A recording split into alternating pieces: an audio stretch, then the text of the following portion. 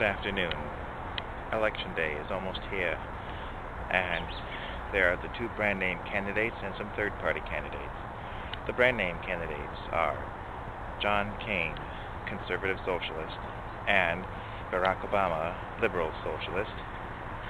And amongst the third parties is Ralph Nader, independent, Chuck Baldwin, Constitution Party, Cynthia McKinney, Green Party, and Bob Barr, Libertarian Party. They're all running for it. Now, the reason I call McCain and Obama socialist is that they voted for the bailout, which is essentially capitalism demanding that socialism bail it out. And so the government is supposedly buying all these uh, illiquid assets problems from Wall Street. They're buying into it and giving Wall Street a bailout, a get out of jail free card, and it's not very good. I have called this World War III actually. And where we're going with it is that in the olden days, wars were made by armies that advanced across land and territory. They took the land and territory because land was considered money. Land was assets. Now we're in a new day and age.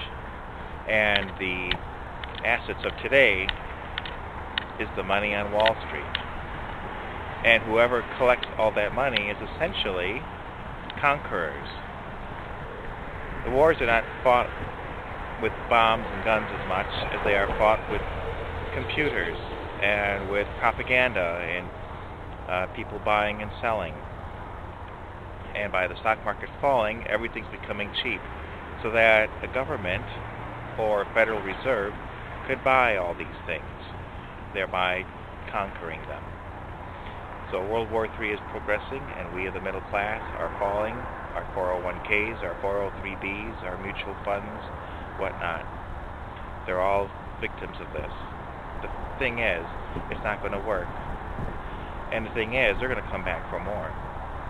And we have to be ready for it when they come back for more bailouts. So, I decided to leave those thoughts with you. Talk to your congressman. Tell them no more bailouts. No more bailouts unless unless the interest of the national debt is forgiven. We have them over a barrel. Maybe even have the national debt forgiven. We bail them out. Think about it. Write to your congressman. And be sure to vote on November 4th. Those of you who have already sent in your absentee ballot, good for you.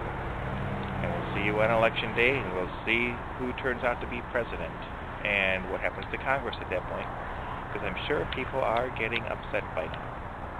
That's my um, news for today, and we'll be seeing you.